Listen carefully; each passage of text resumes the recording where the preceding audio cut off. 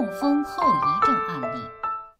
我姓麦，六十岁，二零一九年六月，右侧手脚突然不能动，说话缓慢，去医院检查，诊断为中风，住院八天，经过吃药点滴，没有任何改善。出院后，曾在当地用原始点调理了四个月，可以缓慢的行走，但走路时双腿呈八字形。上半身往后仰，右手也没什么变化，冰凉，明显萎缩，全身无力到无法进餐。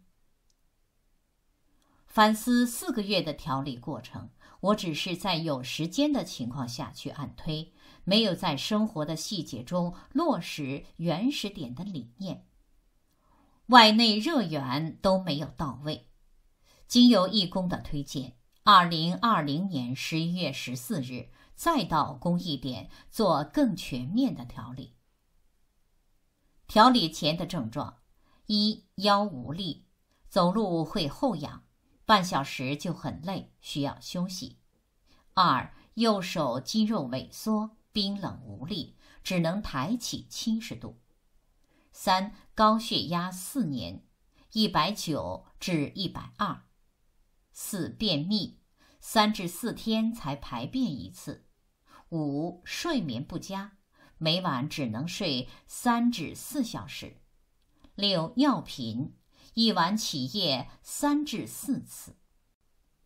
调理细节：一每天全身按推一次。二每天五十克干姜熬煮浓姜汤口服。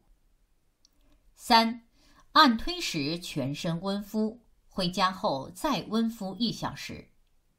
右手臂每天搓姜泥后用暖贴红豆袋温敷十二个小时，垫热毯整夜全身温敷。四每天坚持爬楼梯、爬斜坡，平甩手运动一小时，散步三十分钟。五。保持积极开朗的心态。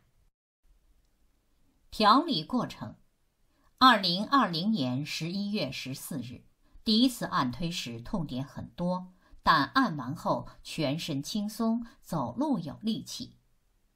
十一月二十一日，一星期后，高压从一百九降至一百六，开始停服降压药。十一月二十八日，两个星期后。高压降到一百五，睡眠好转，能睡四至五个小时，排便改善到一至两天一次，起夜减至两次，右手可以抬八十度，爬两层楼梯六次也不感觉累。十二月十四日调理三十一天后，除腰酸无力还有三成外，大小便恢复正常。血压基本正常，每晚能睡五至六小时，步行一个小时也不觉得累，右手能抬高九十度。二零二一年一月十四日调理六十天，在右手每天搓姜泥温敷十二个小时后，冰冷改善八成，开始长肌肉，整只手变得有力，能抬高一百度。血压恢复正常，腰无力也有了进一步的改善。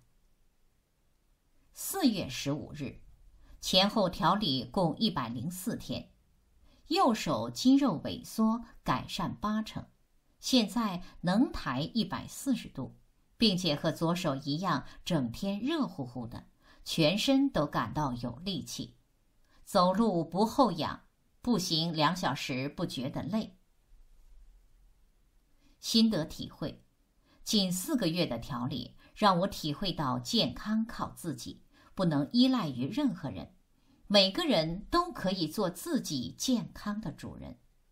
二零二零年十一月十四日调理第一天。二零二一年四月十五日调理第一百零四天。感恩张医师，感恩每一位志工的辛勤付出。